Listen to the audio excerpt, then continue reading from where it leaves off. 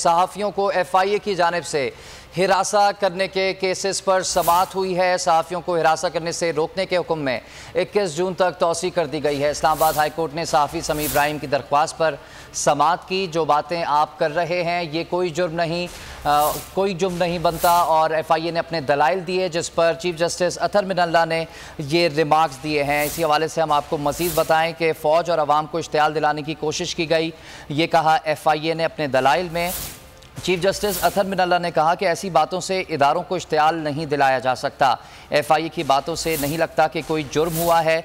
जो कुछ समी इब्राहिम सकता है।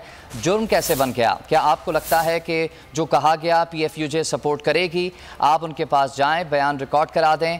अदालत ने समी इब्राहिम को ये हिदायत जारी की है। सहाफ़ियों को एफ़ आई ए की जानब से हिरासा करने के खिलाफ केसेस पर समात हुई। इस्लामाबाद हाई कोर्ट में सहाफ़ियों को हिरासा करने से रोकने के हुक्म में 21 जून तक तोसी कर दी गई है। इस्लामाबाद हाई कोर्ट ने सहाफ़ी समी इब्राहिम की दरख्वास्त पर यह समात की। जो बातें आप कर रहे हैं, ये कोई जुर्म नहीं बनता। एफ़ आई ए के दलाइल पर अदालती रिमार्क्स ये सामने आए हैं।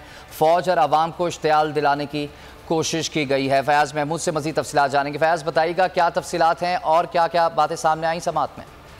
सहाफ़ियों को एफ़ आई ए की जानब से हिरासा करने के खिलाफ केसेस पर समात। सहाफ़ियों को हिरासा करने से रोकने के हुक्म में इक्कीस जून तक तोसी कर दी गई है। इस्लामाबाद हाई कोर्ट ने सहाफ़ी समी इब्राहिम की दरख्वास्त पर समात की। चीफ जस्टिस ने दलाइल के जवाब में रिमार्क्स दिए, कहा कि जो बातें आप कर रहे हैं, ये कोई जुर्म नहीं बनता। फ़ौज और आवाम को इश्तियाल दिलाने की कोशिश की गई, ये कहना था एफ़ आई ए का जिस पर चीफ जस्टिस ने कहा कि ऐसी बातों से इदारों को इश्तियाल नहीं दिलाया जा सकता। एफ़ आई ए की बातों से नहीं लगता कि कोई जुर्म हुआ है।